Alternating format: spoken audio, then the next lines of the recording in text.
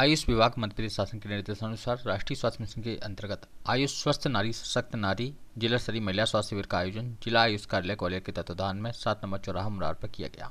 शिविर का शुभारंभ मध्य प्रदेश राज्य बीज निगम के अध्यक्ष मुन्नालाल गोयल, कैबिनेट मंत्री दर्जा द्वारा किया गया। शिविर में आयुर्वेद से तीन सौ तैंतालीस व होम्योपैथी से एक सौ अट्ठावन, कुल पाँच सौ एक मरीजों को स्वास्थ्य लाभ दिया गया। एक सौ पचास मरीजों का ब्लड शुगर व ब्लड प्रेशर चेक किया गया। गर्भिणी परिचर्या में मासानुसार आहार, विहार सूतिका पर्याचार योग, अभ्यास में आसन एवं प्राणायाम, आयुष क्योर ऐप की जानकारी दी गई। पोषण आहार, आयुष नवरत्न की प्रदर्शनी लगाई गई। देवरण्य योजना अंतर्गत हितग्राहियों को सौ औषधि पौधों का वितरण भी किया गया। कार्यक्रम में विशिष्ट अतिथि डॉक्टर अनीता दीवान, संभागीय आयुष अधिकारी डॉक्टर प्रदीप चतुर्वेदी, जिला आयुष अधिकारी डॉक्टर मंगल सिंह यादव, मध्य प्रदेश राज्य प्रतिक चिकित्सा अधिकारी संघ के संरक्षक doctor Kailash Pawar, civil nodal अधिकारी डॉक्टर इसरार बेग मंच का संचालन डॉक्टर मोनिका शर्मा व डॉक्टर विशाल सक्सेना द्वारा किया गया।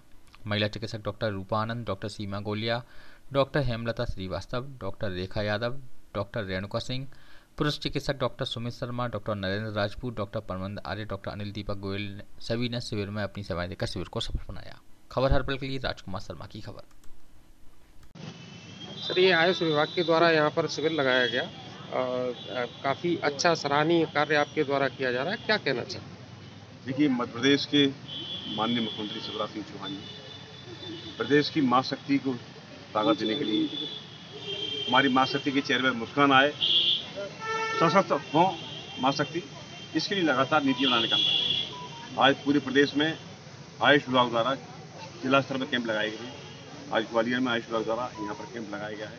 इस कैंप के माध्यम से हमारा जो गरीब वर्ग है शोषित पीड़ित वर्ग है, उसका इलाज यहाँ पर होगा, निःशुल्क होगा। निश्चित तौर पर मेरा मानना है कि वर्तमान दौर में आयुष विभाग बहुत महत्वपूर्ण है। क्योंकि एलोपैथी दवाइयाँ इतनी महँगी हुई हैं कि आम आदमी गरीब आदमी ले इलाज नहीं कर पा रहा उसके कई साइड इफ़ेक्ट भी होते हैं। लेकिन आयुष विभाग जो आयुर्वेदिक इलाज दे, दे रहा है इसका कोई साइड इफ़ेक्ट नहीं है और बहुत सस्ता है गरीब आदमी धन कर सकता है। सवाल यह है कि आज प्रसार प्रसार आवश्यकता है कि प्रचार प्रसार हो जाए और निश्चित तौर पर गरीब बस्तियों में कैंप लगाना शुरू हो जाए तो निश्चित तौर पर गरीबों को बहुत बड़ा फला होने वाला है। मैंने सुझाव दिया है कि आने वाले समय में इस वाली गरीब बस्तियों में जहाँ गरीब वर्ग के लोग रहते हैं मजदूर वर्ग के लोग रहते हैं वहाँ आयुष के कैंप लगें और गरीबों का इलाज हो। तो निश्चित तौर पर उसमें होगा क्या कि ये रुझान बनेगा? अभी हर आदमी एलोपैथी की ओर दौड़ रहा है। हम चाहते हैं वो ट्रेंड बदलना चाहिए। हज़ारों साल पहले कोई दवाइयाँ नहीं थी अंग्रेज़ी याद है। पहले आयुर्वेदिक से अच्छा इलाज होता था और शानदार इलाज होता था। आज आयुर्वेदिक पद्धति को हम भूलते जा रहे हैं। अब समय का दौर है हमको आदमी को स्वस्थ बनाने के लिए और गरीब व्यक्ति को ताकत देने के लिए आयुष विभाग को ताकत देना पड़ेगी। हम चाहते हैं आने वाले समय में आयुष विभाग के कैंप गरीब व्यक्ति में लगे, जिससे गरीबों का इलाज हो